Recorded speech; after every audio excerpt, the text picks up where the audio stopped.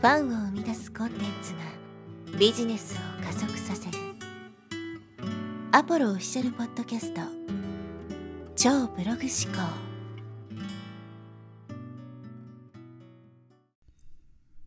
はい、えー、こんにちは、ポロです、えー、今日はですね、ターゲット設定になぜはあるというテーマでお話していきます。おそらくですけども、まあ、ほとんどの人はですね、ターゲットというものをなんとなく持ってると思います。例えば20代女性とかね、えー、起業家初心者、企業初心者とかね、まあ、いろんな形でこうセグメントに分けて、こんな感じの人が私のターゲットですっていうふうにね、決めてることが多いと思うんですけど、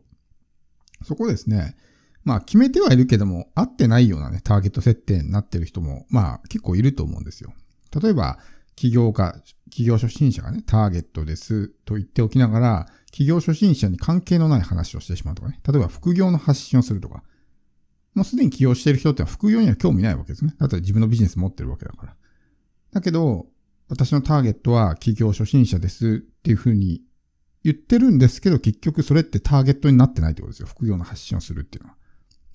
だから、これ、ターゲット設定をするってことはですね、同時にターゲットじゃない人も明確にするってことなんですね。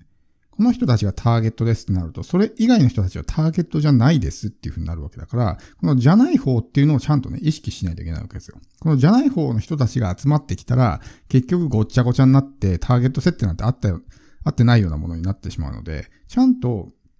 ターゲットを決めてるんですけど、みんなこのじゃない方っていうのをね、全然こう意識してないというか、してしまってるわけですね。そうしてしまうと、なかなかこう、集客がね、うまくいかないというか、ターゲットじゃない人が集まってきちゃうわけだから、商品も売れないしね。仮に売れたとしても、相手がこう、想像していたものと違うとなるから、クレームになったりとかね、不満につながったりとか、まあそういったことがあるわけですよ。だから、まあ絞り込みましょうなんていうふうに言われてるわけですけど、絞ってんですけど、絞れてないわけですよ、結局のところ。だからそこをちゃんと考えていかないと、このじゃない方っていうのもしっかりと意識する。この、ターゲットである方だけじゃなくて、じゃない方が来ないようにするっていうことを考えていかないといけない。そのためには自分のターゲットじゃない人はどういう人たちなのかなっていうことを考えないといけないわけですよ。例えば、個人がターゲットなのに、その B2B ですね、法人向けの発信とかをしていても、それは全然もう違うわけですよね。求めているものが違うし、刺さる内容も違うわけだから。結局全部欲しいみたいなね、感じになってしまうわけですよ。そこはもっと、こう、自分の中で明確にして発信をしていかないといけないと。いうわけですね。まあ、これ絞ることって結構、まあ、あの、メリットも大きくて、そうやって絞って、うちはこういうお客さんは、いや、違いますよって言うと、まあ、その価値が上がるというかね、なんていうんですか、こう、門戸が狭い方が、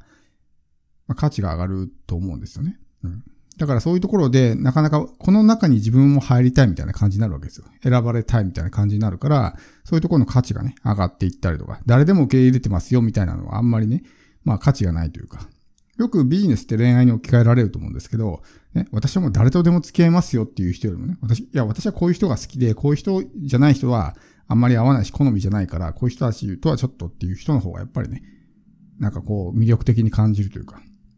だと思うんですもう、ね、異性だったら誰でもいいみたいな、そんな感じの人はあんまり魅力に映らないと思うんですけど、まあそんな感じですよね。なので、このじゃない方を明確にするっていうことですけど、まあ、今回のテーマはですね、このターゲット設定なぜはあるというところで、そもそもこのターゲットを決めるときにですね、そこにちゃんと理由ありますかってことですよ。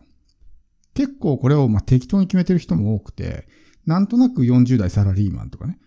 まあ、20代女性とか、そんな感じで決めてしまったりってあると思うんですけど、それって、あの、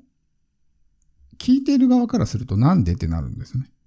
例えば私は、40代サラリーマン、もしくは40代、50代サラリーマンをサポートしたいですってなった時に、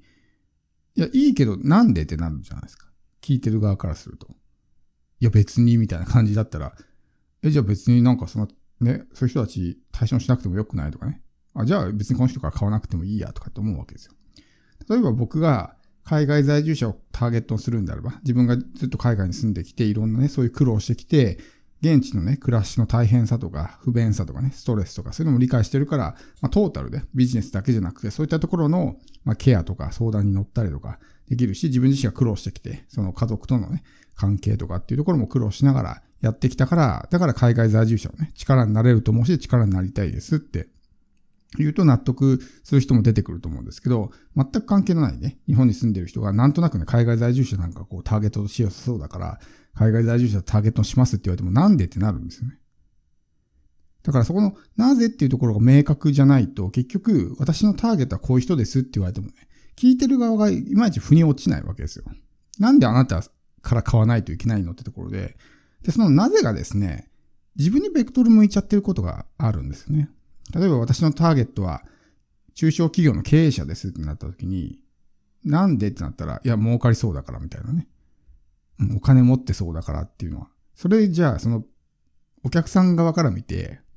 それで、ああ、なるほど、そうか、とはならないですよね。結局自分のことしか考えていないなぜっていうところになるんで、これだとやっぱりなかなか選んでもらえないとかね、相手に納得してもらえないので、そこのなぜっていうのがちゃんと相手が腑に落ちるような形になってるのかってことですよ。だからやっぱり実体験を伴ってるとかね、過去にそういう自分が経験をして、やっぱそこで辛い思いしたから、でそれを乗り越えてきたから、それをね、同じように困っている人を助けたいとかっていうのは、やっぱりこう、筋が通っているとかね、腑に落ちやすいと思うんですよ。結局、このなぜの部分が弱いからですね、意識が弱くなってしまうんですよ。だからさっきの、例えば40代サラリーマンとかっていうのはね、なんとなくぼんやりと決めてるから、全然こう、そこに意識が向かないわけですけど、例えば自分がね、子供がいて、子供が例えば難病に侵されて、なんとかね、苦労したけど、まあ、感知して、一時は本当にどうなることかと思ったけど、すごい、ね、えー、苦しい思いをしながら、その子供のね、病気が感知したってなって、もう本当にすごい辛い思いしたから、同じようにね、えー、子供がそういう病気で苦しんでる人たちを助けたいってね、本当に強い思いがあったら、自然とそういう発信になると思うんですよ。そういう人たちに向けた発信。その人たちに役に立ちたいっていうのはね、えー、発信になると思うんですけど、でもそこがあんまり明確じゃないというかね。よくあるのが、なんでその人たちターゲットなんですかって言われたら、いや、こういう人たちの役に立ちたいからですっていうね。そういう理由が出てくるんですけど、それって、じゃあなんで役に立ちたいんですかって、もう一段階なぜを深掘りしないと。例えば40代サラリーマンの役に立ちたいんです。なんでって聞かれて、そこの先がちゃんと出てきますかってことですね。役に立ちたいんですっていうのは、まあ、理由であるようで理由でないみたいなね。ただ言ってるだけみたいな感じになるわけですよ。で、表面的な理由みたいな感じで、建前ですよね。とかになってしまうんで、その奥にある理由。で、そこが確か、実体験を伴っていて、本当に強い思い。パッションがある人であれば、自然とそういう発信になるし、そういう行動になるしね。っていうところで、相手もすごく刺さるというか、納得するというかね。あ、この人は本当にそうなんだっていうふうに思ってもらいたいとかっていうのがあると思うんで、やっぱりそこのなぜが、その、どれだけ強いなぜなのかっていうところがあると、やっぱターゲット設定もね、うまくいくんじゃないのかなっていうふうに思いますし、まあ相手からもね、選んでもらいやすくなるということです。まあここまでね、なかなかこう、大きな体験、強い体験っていうのはないのかもしれないですけど、やっぱりこうターゲットをあんまり意識してないというかね。で、なんで意識してないかっていうと、その、じゃない人が